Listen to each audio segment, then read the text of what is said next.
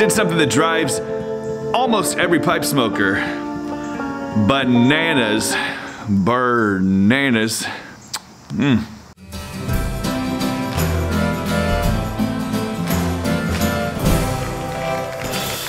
Now, the controversy over how to light a tobacco pipe has gone on for at least a few months now. At least, uh, well, as long as I've been doing tobacco stuff on this channel.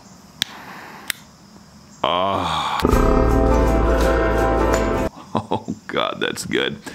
Now, most people get very upset when I light my tobacco pipe with a torch lighter. They tell me, oh, you're gonna ruin your pipe and you're gonna ruin the tobacco and you're gonna ruin your life.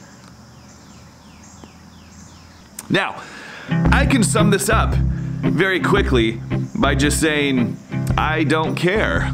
To me, you use whatever method you want to use, whatever you prefer to light these up, because the reason you're smoking these in the first place is just to enjoy them. If you're like me, and you like a torch lighter, use a torch lighter.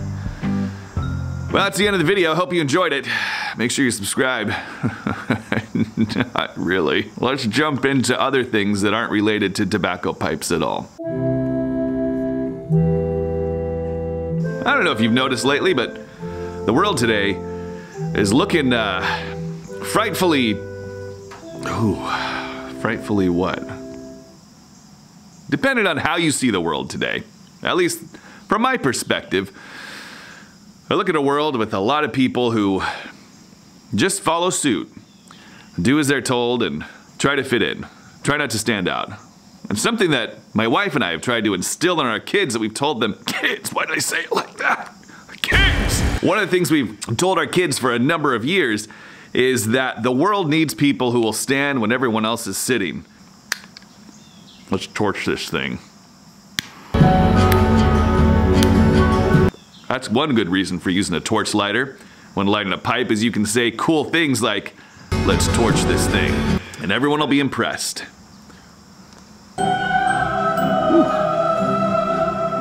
Dang, that's good.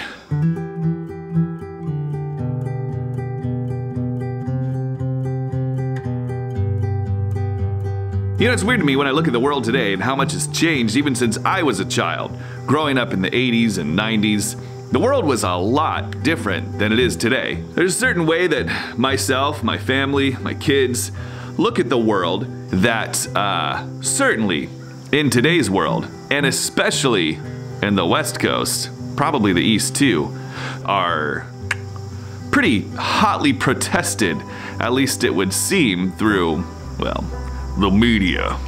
Seems that those ways of living and looking at the world are under attack in a way that they've never been in my lifetime. I think that's true for a lot of people. I think there's things that have changed in the world around them that they're not big fans of, but because no one else is really doing anything about it or talking about it, or a lot of people want to be seen as more open-minded to some of the new ways of the world. Mainly America. America. That's my world. And because you don't want to be seen as the only person who seems to think the way that you do, a lot of people just don't really do much about it. They just sort of back down and use some sort of soft flame to light their pipes rather than the torch pipe that they know deep inside of them they'd like to use. For me, and the rest of this video, this torch lighter represents the way that I think about the world.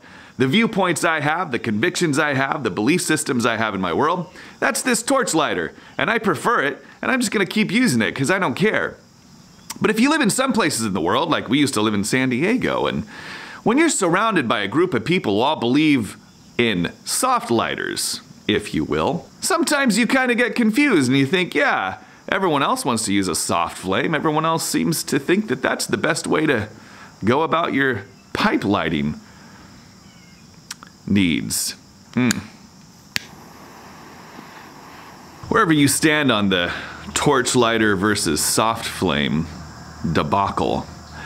I think uh, we feel like we're at a point now where uh, it's important to show other people where you stand on the lighter debate and to do what you can to encourage others who are also closeted torch flame lighters to get out there and use a torch lighter if that's what you prefer. Yeah, I think that was a video. Pretty sure that was something.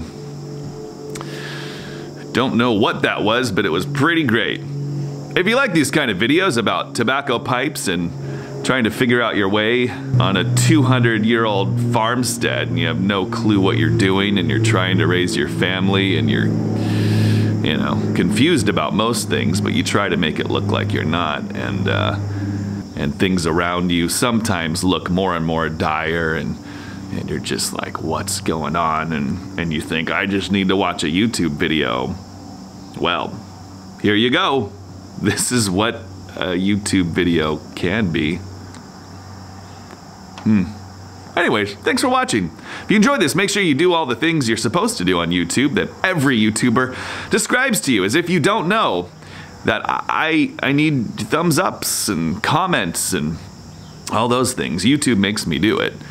Uh, if you put a YouTube video up, a YouTube representative shows up at your house and well, you have to sign a contract that every video you will ask people who watch your video to like and subscribe, so please do that. Thanks for watching. Goodbye.